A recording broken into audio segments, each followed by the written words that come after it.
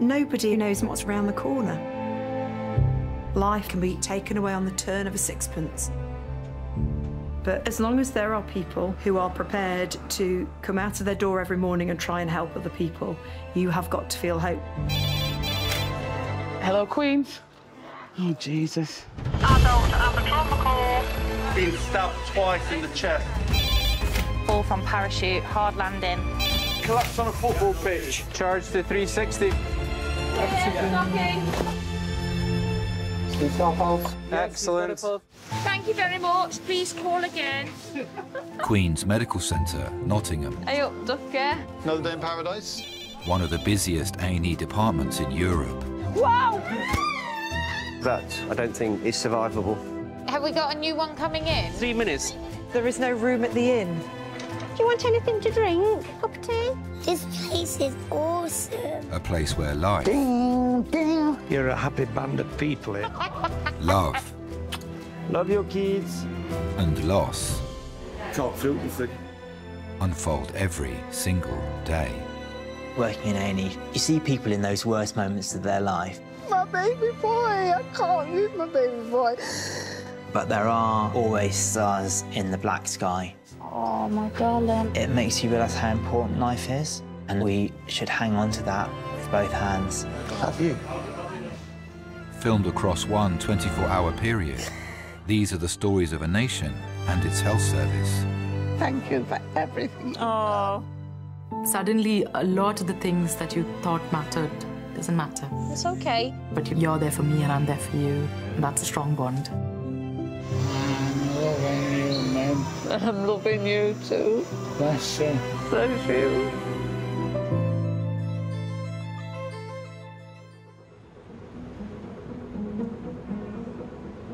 no, we're not able to do appointments over the phone or anything. It's just a case of turning up and getting booked in and then waiting to be seen. Thank you, bye-bye. Hi, is there any chance I could book an appointment and I come down later? I said, oh, I don't think so. Oh. Hello, Queens. Good morning. Leading the team in resus is consultant Craig. Uh, Craig, Hi. 28-year-old male with chest pain. Yeah, she come here. Come here. Yeah, yeah. Resus is where we manage our most seriously ill and injured patients. Hassan got a cardiac arrest coming in. It's not sounding particularly promising, so he's been down for about an hour now. It can be a really challenging place to work. Sometimes it can be difficult emotionally. That sounds pretty irretrievable. Okay, we'll stand down then. Yeah, you straight to the mortuary. Yeah. It can really uh, test you as a person as well as a doctor.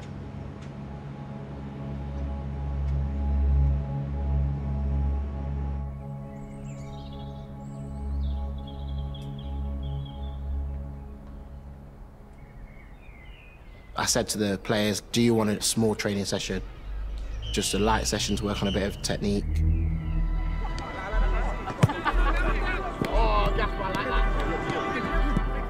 Our club plays against men. Kai was 18 at the time, so it was a real physical challenge, and Kai rose to that challenge and he was awesome. Man of the match in two games. The ball had been cleared up the field, and then Kai collapsed. His hands were curled up, um, his eyes were rolling back. He, his breathing was just non-existent, like a croak. His body was tense. Very difficult sight. I worked out that it was something wrong with his breathing. Started to perform CPR. As soon as he got in the ambulance, I didn't expect to ever see him again.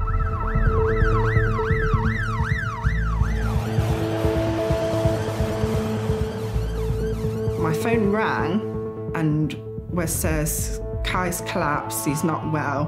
He said we started chest compression and we got a defib to him. And once I heard that word defib, I screamed. Hello, Queen's Resus. Post cardiac arrest. How old are they?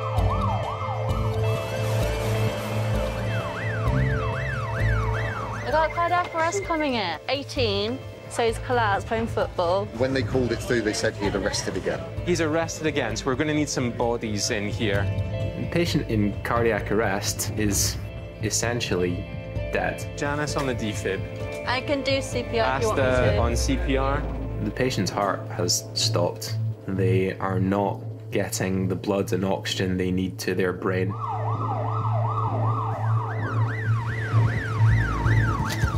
Plan will be if the patient comes in in cardiac arrest, we'll get the pads on, CPR at all times until we're ready for a rhythm check. Unless you can get that heart beating again and beating again quickly, then the patient is going to die. It is the most time critical situation that we face. Okay, guys, we'll go straight across onto our trolley if that's okay. Every second counts. Everyone got a piece? Yep. Three. One, two, three. Right, so let's transfer over onto our defib. Guys, whenever you are ready, give us the handover. This is Kai, 18-year-old young gentleman collapsed on a football pitch. When we got to him, his instructors were doing good CPR. He's had two adrenaline. He's had six shocks, all at 360. Can I pause you for one second? When's he next due for a rhythm check, guys? Now, let's do a rhythm check now. Which defib are we on? Okay, Whoa. VF. Back on the chest, please, guys. Let's charge that to 360. One second, just. Have we got a pulse? There's no pulse. Okay, back on. Okay, let's go adrenaline and amiodarone, please, guys. Patients who have a cardiac arrest out of hospital, less than 10% of patients will survive. It's a small number. Initial rhythm when you got there was VF? Yeah, we shocked him once. Yep. Then we shocked him a second time. We lost him on the way in again. So we shocked him again, and then, then we're here now. Charge to 360, please.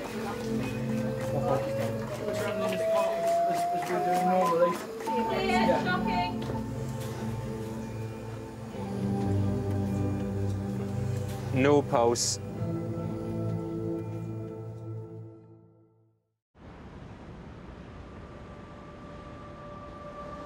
My baby boy, I can't lose my baby boy. Sis, it's my baby boy. Be on the phone to. Sis. It's my baby boy. Be on the phone to. It's Denise. No, I can't. No, no, no.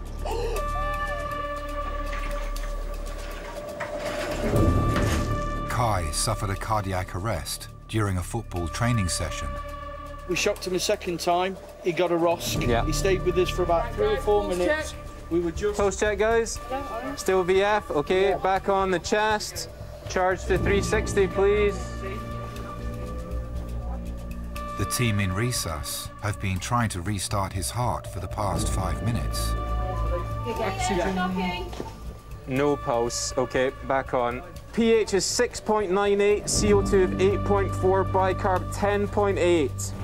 When you're making decisions about stopping CPR, essentially pronouncing a patient's death, that's the most serious thing that we can do as medical professionals. We want to give the patient every chance possible. Volume, let's squeeze that in as fast as we can.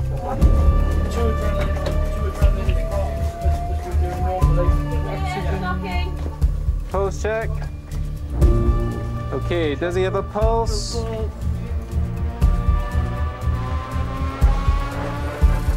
Yes, he's got a pulse. Pulse, Yes, excellent. he's got a pulse. Brilliant. Okay, Lovely. so let's move to post-resus care then. That's fantastic that the patient's heart has started to beat on its own again, but it doesn't mean that we're out the woods yet. It's really just the first step. We still need to try and figure out why the patient was in cardiac arrest. Hello, sis. Sis, come on, stand up. Stand up, sis. Come on, he'll be all right. He'll... Kai's always been this healthy boy. So to know that my son is going in hospital because his heart stopped, I knew that my child's life is in danger. Make me before I didn't want him to be on his own. Yeah, come on. It'll be, it'll be all right. We're not, I'll have to talk to you. I'm going to bring Mum in. She just she needs to see him. I think it's incredibly important to communicate with patients' families as quickly as you can. Every minute they are in a room being kept away, you know, that's torture for them. So we, we need to be mindful of that. We need to support them as best we can. Do me a favour, just take a deep breath before we walk in. If you need to grab my hand or anything, I will do it for you, yeah? It's good. You Please just are stay here. you- Got a pulse back now. Luckily, his heart's not stopped again. So the anaesthetic doctors have taken over his breathing. He's on a ventilator. Next step now is just going to try and work out why this has happened. Okay. Yeah. Okay. No, he's a strong boy. He can do this. Come on, son. You see, Shall we get? do Do this. you want to stay? No, please. Hi, it's mum. Brett, will you grab me a chair?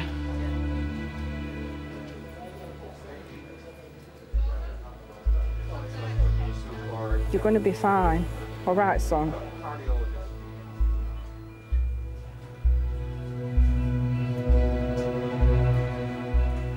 It doesn't matter how old they are. They can be 20, 30 years old. They're always going to be your baby.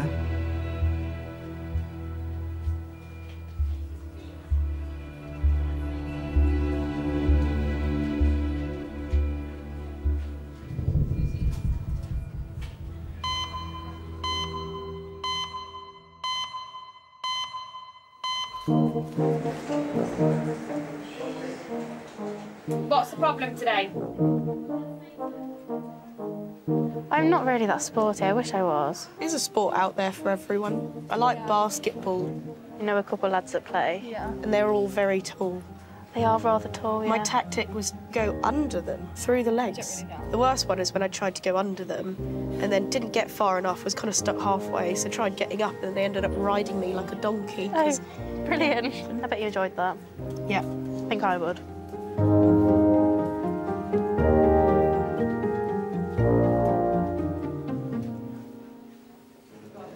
Do I have permission to rename you in, in a Facebook messenger to Clumsy Bones? 23 year old Phoebe is in minors with fellow student and boyfriend Matt after falling over in a library. I love those two messages back to back. Yeah. That's what's going on in my head. Literally a week and a half into the relationship, the first text message that I ever sent to him. I've had an accident at uni, I hit my head. Can you meet me at uni? Immediately was thinking, what on earth has she done? I'm terrified. And then I just turned up and it was just a little cut on the nose, and I'm thinking, what have I got myself into? So we first met in first year of university. Um, we were going to the same church.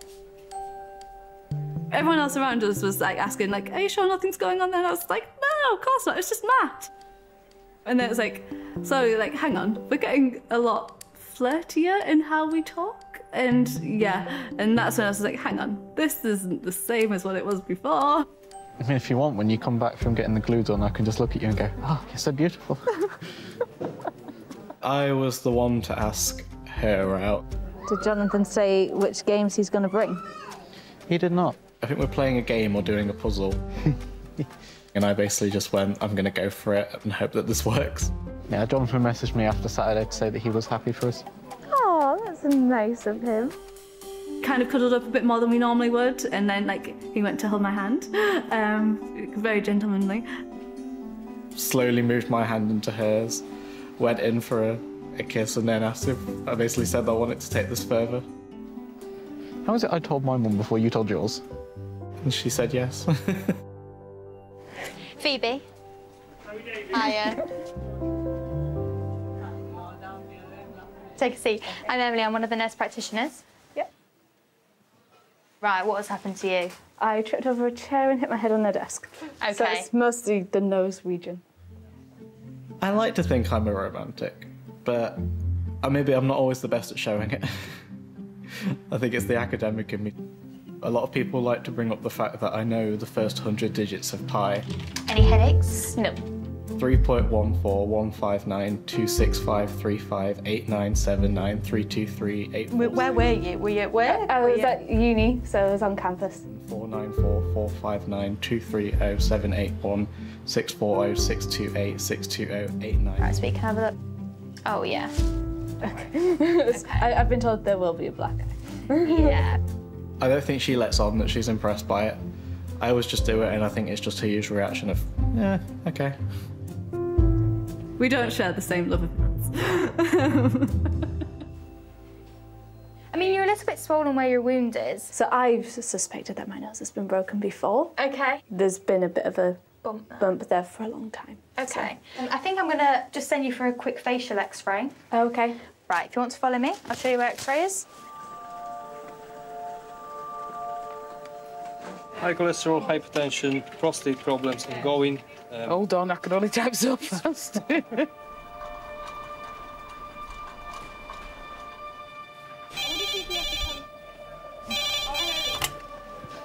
uh, hello, Queens. Right, head-on collision. Do you know the speed? It's So 80. Combined speed, yeah? Cheers, bye. Head-on collision. One's been in a van, one's been in a car. Combined speed of 80 mile an hour. A 30 year old man is being rushed to Queen's Medical Centre following a road traffic accident. I'd been travelling for work and I was away. When I rang my wife in the evening, she said, Tom has been in a serious accident. You think the worst. You go from one day where we're sat and all enjoying a, a Sunday dinner, and the next day, it, it's the whole world changes. What's our ETA here, do we know? If it's a, a head-on collision, then you want to know whether they went down and under, in which case you're talking about lower leg injuries. He's got open tib fib fractures. An open fracture or a, a compound fracture is where there's a break in the skin over the fracture, and that also introduces the possibility of infection. What's the passenger? Number three.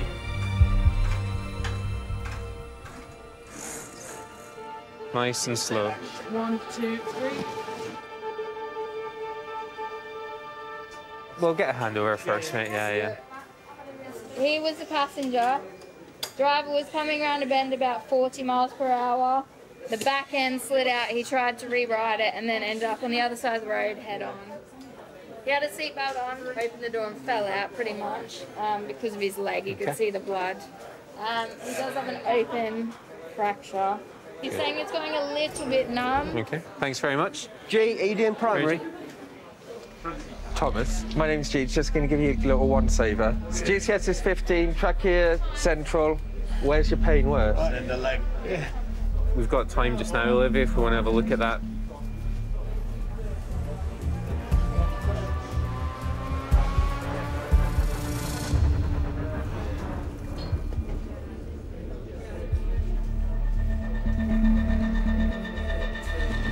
Are you going to want to do? Pull the skin around from that edge because it's Yeah. compressing. Saline soak balls, and then we'll put a below-knee backslab on. Perfect. Yeah.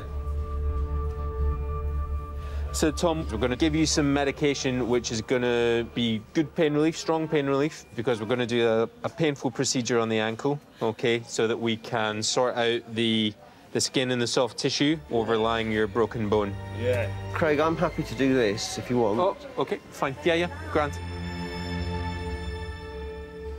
The longer the ankle is out of joint, the more potential there is for damage to the blood vessels and nerves around that ankle.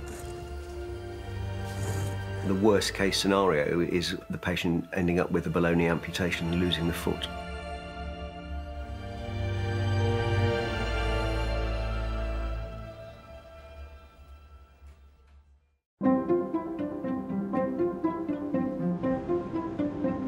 Is this for fracture? Yep, so you need to head down that corridor behind you and take the first left. Hospitals are so interesting. Oh, there's a baby. I'd happily have a child, I just don't want to give birth to it. Seems like a lot of effort. Yeah, I don't really want to tear my vagina.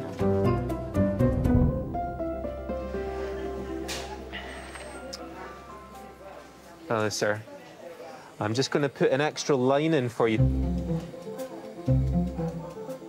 I'm from a little village near Glasgow. Typical Lanarkshire kind of working class village. Uh, I lived with my parents and my sister, you know, close family. My granny was Agnes.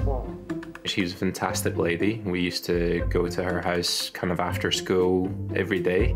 Thanks. Her family were from Lithuania, so she was always there with, you know, a bowl of sauerkraut after school or a beetroot sandwich. So she was she was fantastic. Sir, there's going to be a sharp scratch coming up here, sir, okay? When she became unwell, she she had breast cancer. I get a syringe. Oh.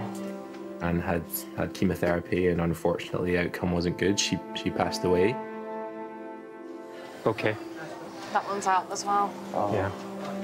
Yes. I remember not so much exactly what the doctors and nurses were doing, but just how they were with my gran and how grateful she was for their care. And I think that struck a particular chord. That strengthened my desire to do something similar with, you know, with my life and my career. He had 300 of amio intra-arrest, didn't he? Fine. Do you want the 900 infusion over 24 hours?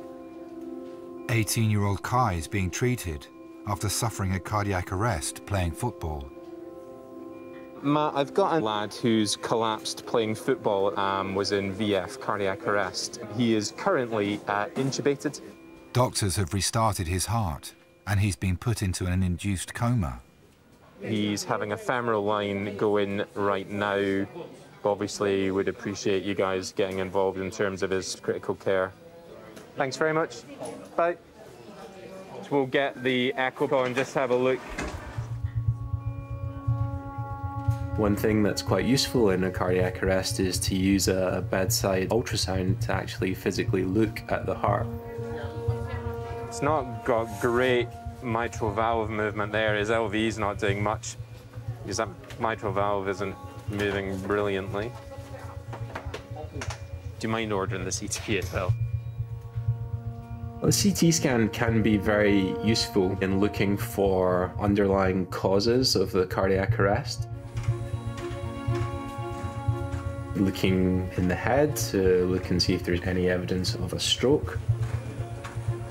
Or we may be doing a CT scan of the chest to see if there's been ev any evidence of a large uh, blood clot in the lung. Everyone ready? Yep. Ready, steady, slide.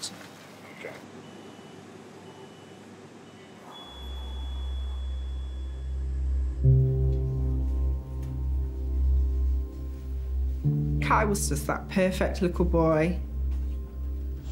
He would eat, sleep, breathe football. Kai joined Notts County when he was about 10 years old, so he was under 11s. I was just, I was so proud, so, so proud.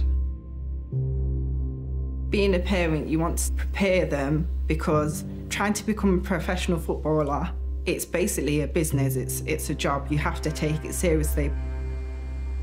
I know he was really pleased with himself, but also I knew he was quite nervous. Breathe in and hold your breath. With football, our lives changed a lot. You know that there's gonna be a lot of strict rules, you know, you're gonna have to do as you're told.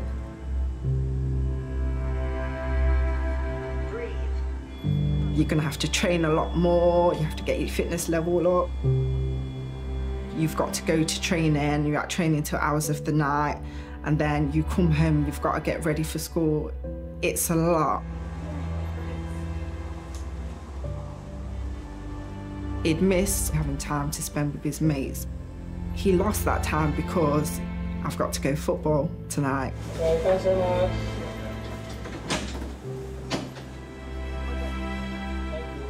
Kids go through growth spurts, and unfortunately, that's when he started to have his growth spurt.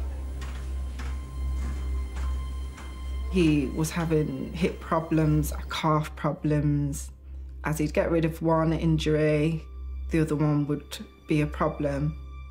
It was a really hard time for him because he knew that he lost a lot of game time. I believe he did realise that going through his injuries for so long that it was lessening his chances of becoming professional. He was 16 when he got released from Notts County. I'd say he was really upset. And we just spoke about if you're being released, it's fine, it's not an issue. There's plenty of football teams that you can still play. You, you've always got other options.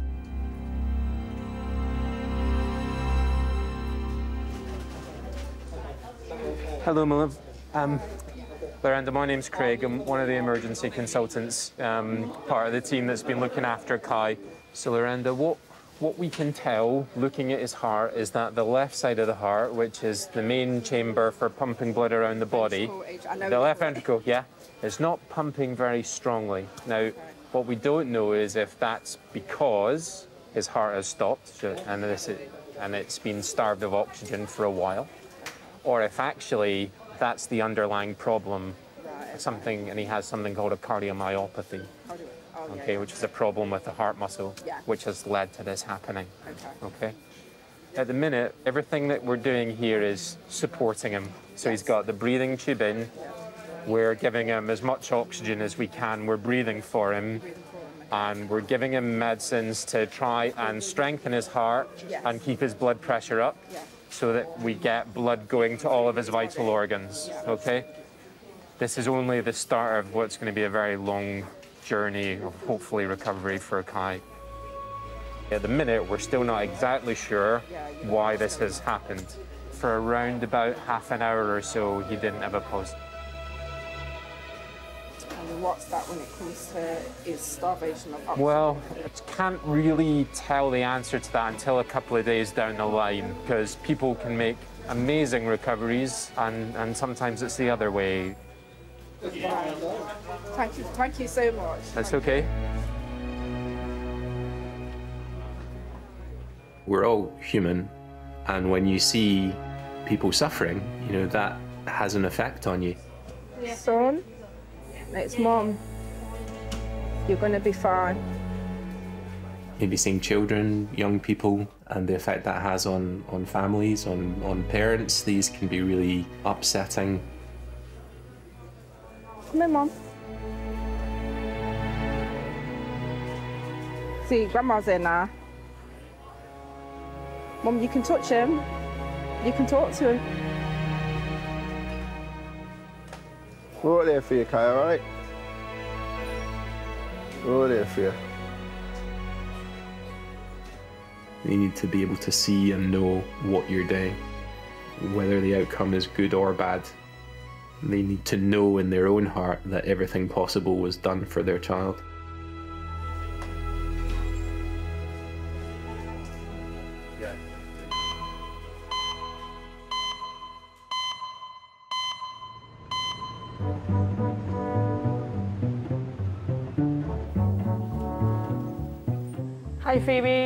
Phoebe, Dash. I'm going to do your x-ray today, all right, just of your face, is that correct? Phoebe is having an x-ray after tripping in a library and injuring her nose.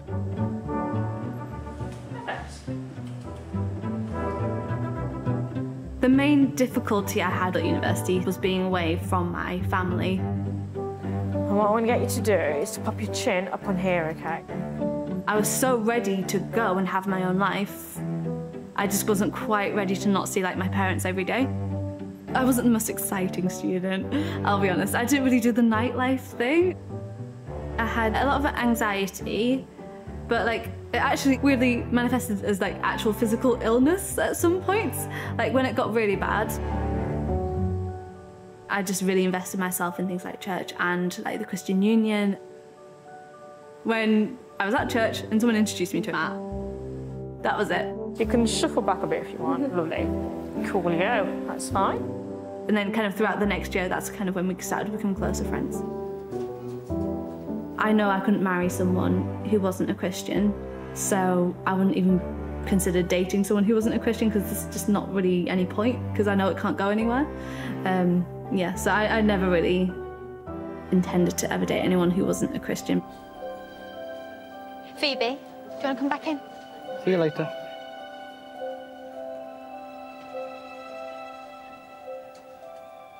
Your X-ray looks fine. Okay, so that's good. good. Um, so it's just the wound, really. Okay. Yeah. So lovely Iona's going to do your wound for us. Are you happy to drop your mask down while we do this? Is that all right? Just because it will make It'll make it a lot easier. I see my future with Phoebe as just as getting married, living together, having kids, all, all the all the usual stuff. I feel like I've just given you a nose job. Like you just lifted your nose a little bit. people, people pay thousands for this. For me and Matt, I hope that um, it will lead to a marriage and a life and family, kids, pets. Oh, You know what? amazing. It's not that bad. it's not that bad. All right. Yes. I might have to up my romantic game, but I don't think I'm too bad. She might say otherwise, but I think I'm okay. Oh, actually doesn't look as bad as I thought it would. no offense. I would say it is love. Yes, I would say it is. Yeah, definitely love.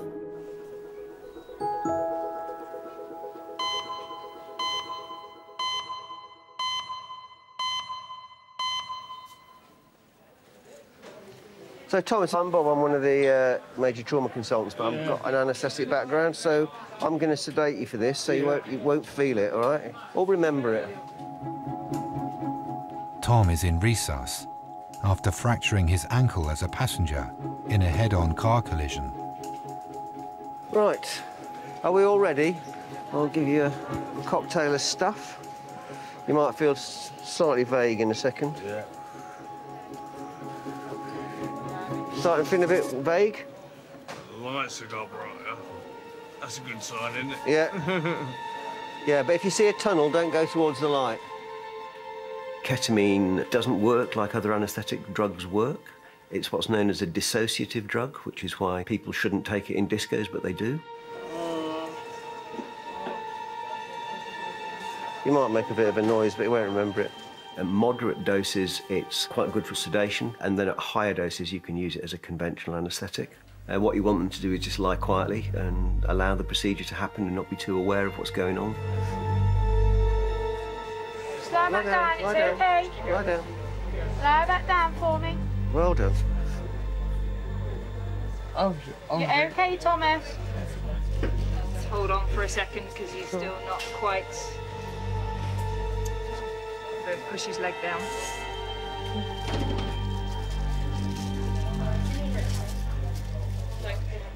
Put that in now. Or is?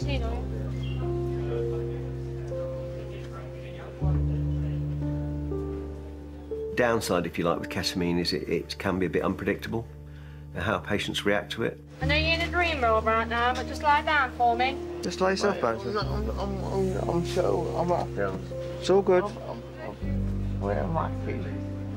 In my Mackey's. Should we lie down and have some chicken nuggets then? I, I, need to, I, need, I need to go and, and get up. Alright, lie down. No, As long as he's not disturbing No, the, no, no, the, it's the sharp. castor off. uh, Well done, mate. Hey. Lie yourself back. Very sorry. So obviously it's an open fracture that the chances are that the patient's going to be going to the operating theatre at some point and we want to make the patient much more comfortable but also we're trying to maximise the chances of a long-term good functioning ankle joint. So you had a little bit of skin that was inside. Yeah. We're taking that off. You've got a little cast on here. Yeah. We're going to get an X-ray of here. Okay. Let's just cover you, cover you up a little bit. No worries. There we go. Thomas as a baby was a, he was a lovely child, really easygoing, no trouble at all. With the boys in the early years, it was fun messing about. It was a nice, simple childhood upbringing for them. It was as he got older, if there was any trouble going on, he would be the one that uh, would probably get caught. Just one of them things. I don't, I don't know if he lost control, but more of it was as he came around the corner, the back end went. It's like new tarmac. Tom is an absolute charmer. Everybody loves Tom. But Tom was mixed in with a, a group of people. Some were good, some weren't so good. And those people that would let Tom carry on drinking and he would drink too much and then lose control.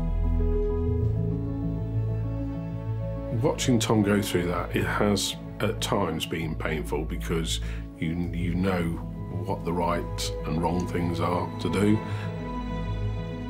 They have to learn, and sometimes they have to take a fall before you pick them back up. It is hard being a parent. Every family has its faults, we have our faults, but at the same time, it's important that we make a stand. Picking those pieces up and trying to rebuild them is really hard.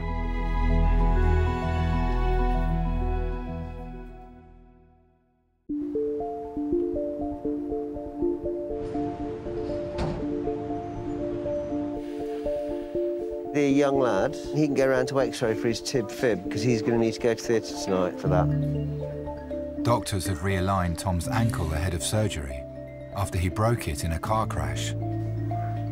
Do you want some painkillers as well? Okay. We've had moments, we've had our disagreements, and we've shouted at each other a lot, and that's uh, how families, uh, you know, go. But stability is important for Tom. Yeah, I can settle. That's a key thing, making sure that he's got a stable home and a supportive family around him.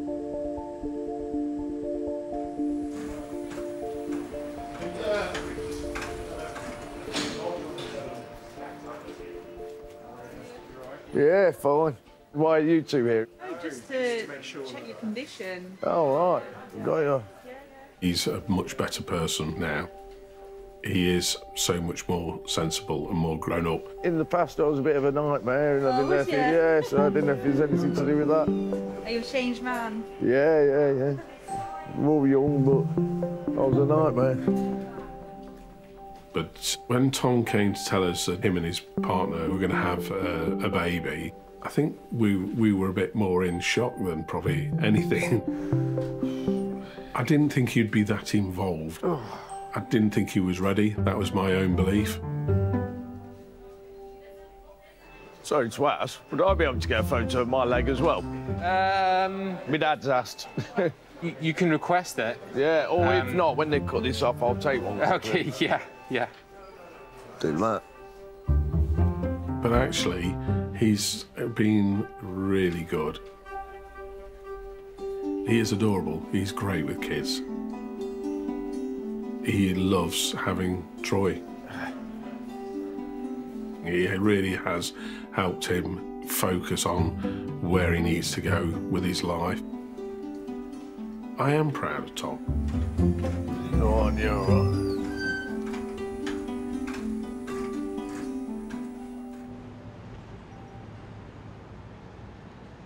Well, he's got right bundle type morphology, ST depression laterally, and a first degree block. It's um, an unhappy heart. The cardiology team have arrived to decide the best course of treatment for Kai, following his cardiac arrest. So the right heart is okay. I think, Yeah. you know, so it's just an LV which is not doing anything at all. Whether that's post arrest or whether that is primary LV dysfunction is very difficult to say. But there's nothing else Yeah. obvious there. So I think we have to treat as a cardiomyopathy. Cardiomyopathy is a primary problem with the structure and the function of the heart muscle. When you have a structurally abnormal heart like that, and you then exert it to stress of, of high intensity athletic activity, then it can precipitate um, abnormal heart rhythms and cardiac arrest. Cardiology have been down to see, but that's difficult to read too much into it post arrest. Um, we're going to treat him as a cardiomyopathy induced VT. Yeah. Okay, thanks, Matt. Bye. So Craig, the guy who attended first, is, is here as well. Okay, perfect.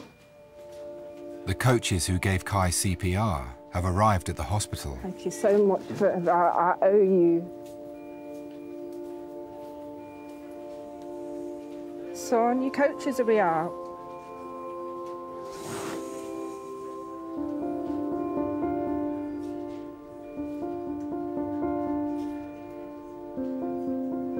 You can, you can touch him.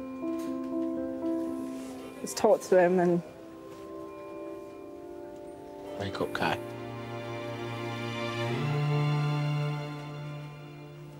they, they need the goal scorer back. Come on. Yeah, yeah. They need you back.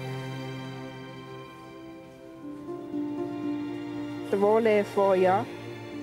They're going to be praying for you. All the boys are going to be praying for you. And then when you wake up, you can give them a big hug.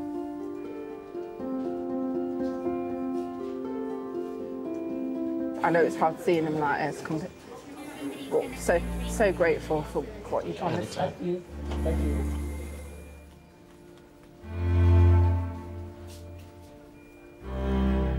At first, Kai was really upset when he got released from Notts County, but then once he got into grassroots football, he realised that he was a lot happier because the pressure was taken off.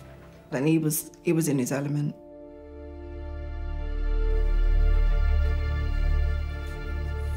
Okay. But it's a lot in it. Yeah. You're just like, what's that for? What's that for? What's that beeping? I'm glad it's beeping. Well, that's it. That's Glad what it's we want. beeping. We'll, we'll rather see all this than. Yeah.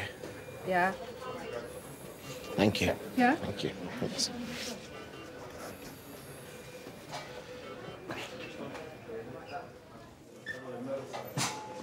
It's going to be fine. won't it? Thank you. It's all right.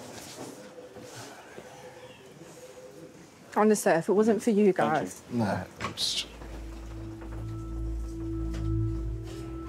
So he's exercising and now he's arrested. Correct. But his mum is outside. and She she's she's staying positive. I don't think there's much else to do here.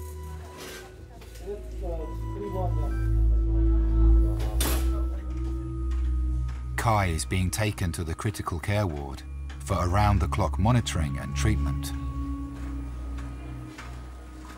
In a major trauma centre, you really are exposed to some patients who've suffered some really devastating injuries. When you have that patient and their life is in your hands, as long as I can honestly say we as a team have done the best that we can for this patient, then then I can live with that. Um, whether the outcome is is good or bad.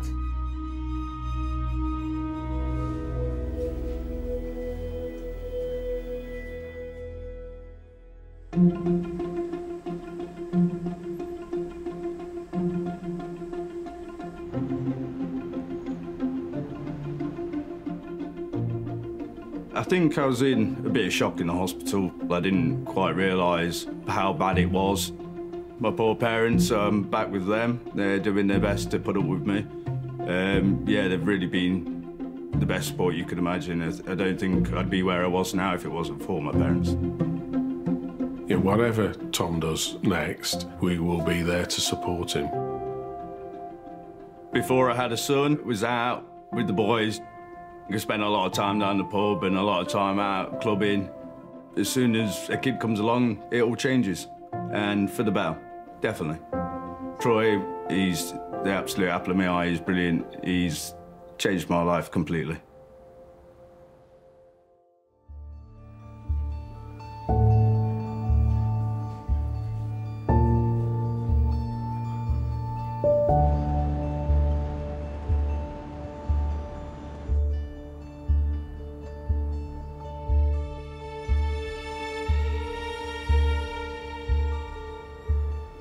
There is nothing that can prepare you for this at all.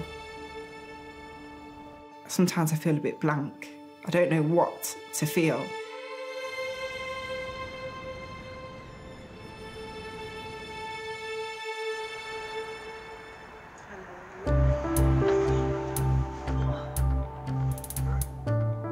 When I woke up, pretty much I couldn't move. I thought that I was gonna die until I saw mum next to me and she looked at me and says, you'll be okay. I do think it's a miracle that Kai is still here. I think that him being young and so fit played a huge part in him recovering. The surgeon came up to me and said, pretty much, if you play football, it's gonna risk your life. I think from that moment on, I pretty much realised that I don't care. I value life more than anything in the world.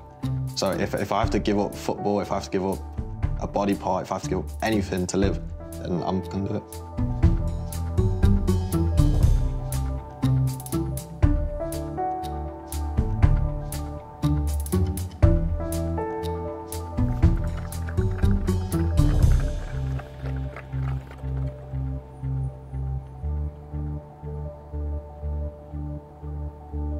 Came back to see us. That was just a really nice moment. Everyone gave him a hug. Yeah, that was really nice. That's when I actually started to feel, well, he's actually, he can walk, he can talk, he's with his mum again. That was, that was sort of a bit of closure. I like to think that this ain't the end of me at all, and I'll go much further than I probably wanted to go in life. Brand new show with a colon coloured couch. We're busy perusing the problematic poos of the populace head inside our guts on all four. Next tonight, when a pregnancy is anything but straightforward, we're under the care of the Belfast midwives.